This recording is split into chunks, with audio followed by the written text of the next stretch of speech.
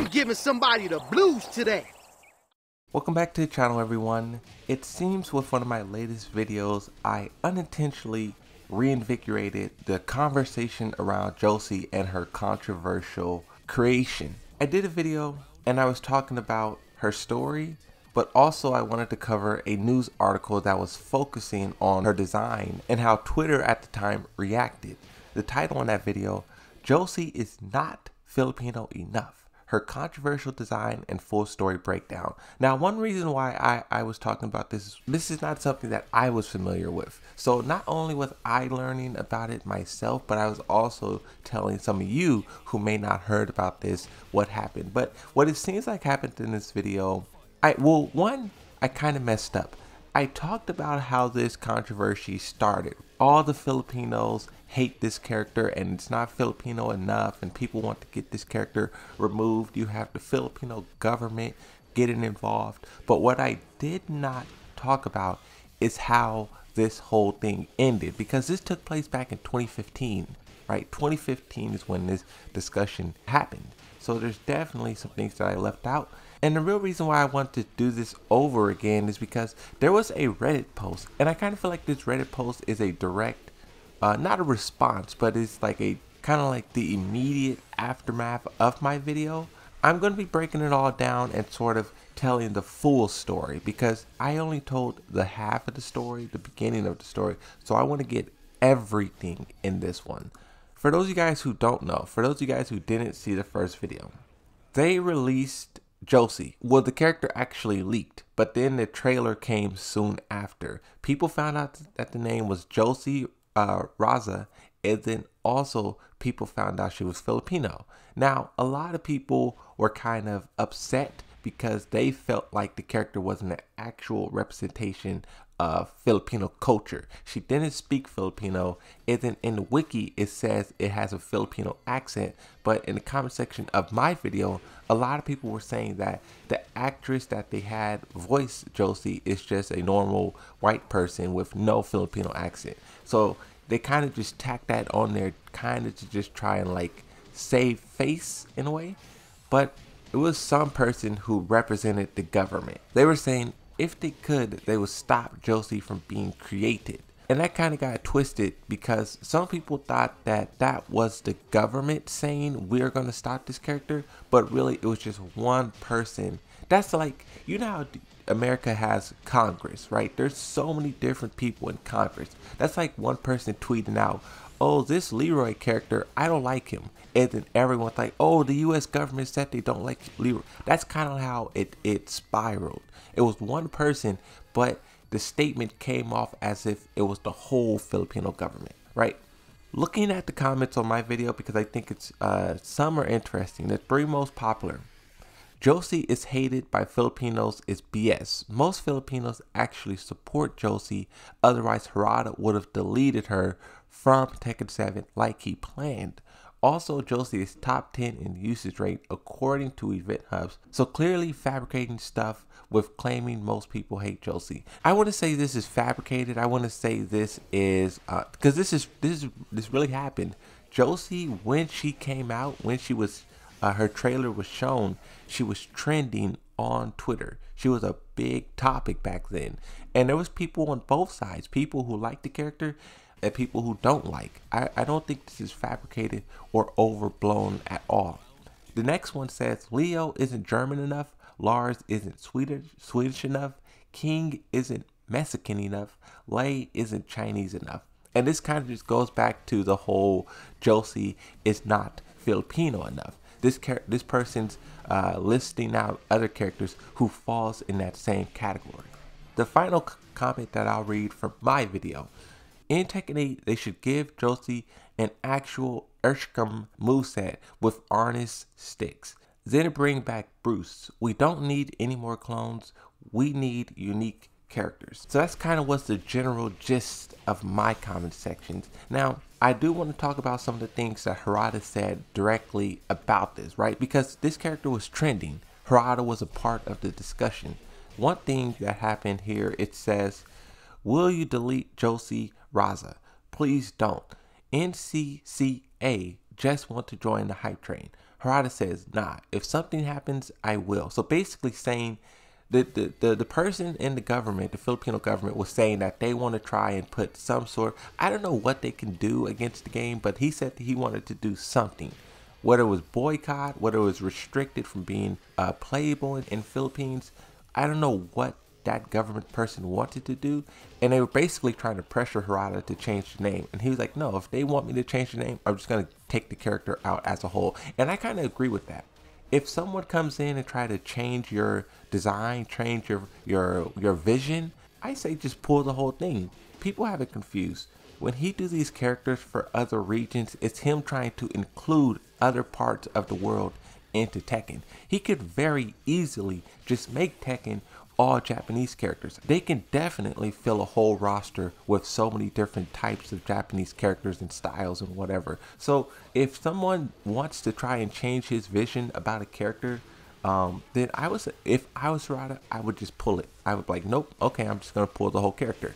Now you guys can continue doing your whole Philippines things, and we'll continue doing our Tekken things. But the next quote NCCA is just concerned about the name. The character should not be deleted, just change the name.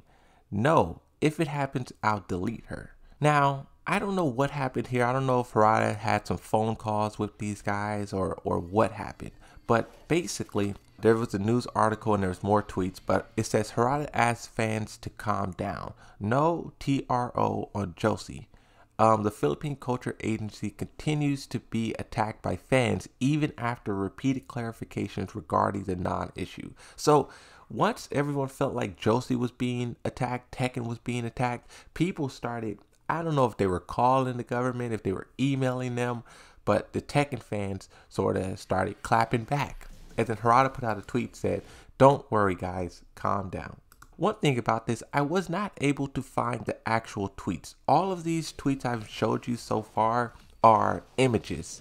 This is people taking a screenshot of Twitter back then. I, I don't know if these tweets was deleted or if I just cannot access them, but I was not able to find all of the tweets for myself. But it says, okay now, don't worry guys, and to tweet longer. I'm guessing he explains in detail what happens, but we can't see that because I wasn't able to find it. Clarification on Josie issue. Dr. Uh, Cantine's opinion is his own, not necessarily that of the entire, I'm guessing, government. No TRO has been issued on Tekken 7. Josie, the article is definitely Filipino and definitely satirical post. Thank you very much. Oh, wow. So this got so big to where the NCCA had to make a official statement because one of their members quotes got out of hand. They were being flooded so hard that they had to make an official statement. That is crazy. When I took this screenshot, I didn't even realize this was the NCCA uh, tweeting this, right? Harada responds and says, Back to work, I'll create my life.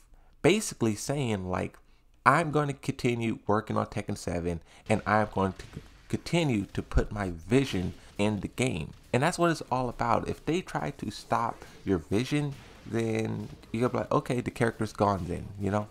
And now let's talk about the Reddit post. So if you watched the video yesterday, you could have came off with the impression that Josie is a horrible character. And that's something that I, I said in the video. I said if you didn't know anything about Tekken, you would think Josie is one of the worst characters in the game. But she's not. She's one of the best, I would say. When you're talking about the new originals, the new characters where this is their first game, Josie's by far one of the best. I love her gameplay. Her gameplay, I don't play Josie, but playing against Josie is incredibly fun. And I feel like it's challenging, but it's not too challenging. There's a lot of characters that just plays themselves and they're just overpowered.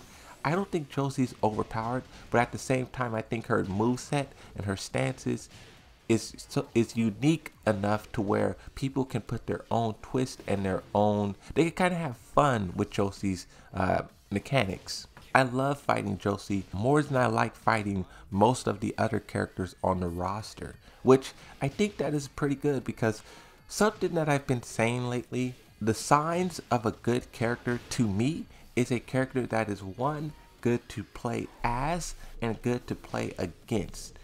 Fahkumram and Leroy Smith, they may be fun to play as, but they're not fun to play against. And I guess you could throw Yoshimitsu in this same pot.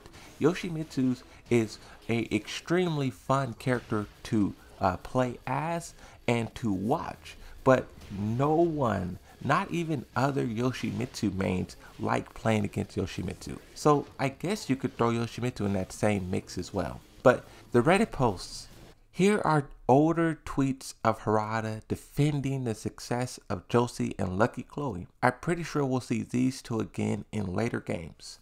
Now, the reason why I think this is kind of a direct response to my videos, one, I it, the video was about Josie, but throughout the video I kept mentioning how I wanted to do Lucky Chloe uh, next. I still want to, I'm still planning on, on it, but there's other videos that's kind of taking priority right now. But looking at these tweets from Harada, how often does these kind of cases do affect the sales in certain regions slash countries? Because someone yelling stereotype or cultural appropriation sounds like a massive troll to me. I recall when people in my country got uppity when Josie was announced and they didn't even play Tekken. Harada says your point is the exact opposite of the fact. In fact, many fans gathered for Josie, and the sales of Tekken in Philippines are the number of online matches have improved beyond comparison with the past. This is revealed by statistical data, that's all. So basically saying people can be upset on Twitter, on Reddit, on whatever, but that does not mean that the player base is gone. Here's one thing too. People who love to get upset about stuff, people who love to, you know, the, the Twitter fingers get going. These people have kind of a short attention span. They'll be upset about Josie one day, but then the next day they'll be upset about Disney not adding a, a Filipino character or whatever. Like these people, they they jump from topic to topic to topic, just being upset about everything the the point is that anger will pass. And once it does you will only have people who love the who love the character and who love the game that remains. Looking at this uh, lucky chloe tweet because there's a lot to read here. It feels like millions times harder to design a fighting game character than an fps character. Since 100% of the time playing a fighting game you are looking at everything that goes into the character which is just doesn't happen on fps What's the hardest part of making a character? Fighting games, you have to go a little bit deeper and you have to go more to the roots. Harada says everything. However, the most difficult thing is the balance between play, feel, enjoyment of controlling characters, and character personality, specialized skill. It's different to adjust to a good play feel while striking specialized animations. Leroy Smith, at the moment, I'm hoping they could change this in Tekken 8 he is all design. He's all outfit, all personality. But then gameplay, it's really lackluster and it's really underwhelming. There's not really too much there for this character. Someone says, so why look at Chloe? Harada says, did you ask questions at school like that too? First of all, tell the intentions and the point of your question. Unfortunately, that's beyond your imagination. That character was successful in marketing. Don't ask me for shit. And this is the thing. This person, so why Lucky Chloe? It's like, so why Lucky Chloe what? Finish your question. Finish the sentence, the statement. And then second off, Lucky Chloe is very successful.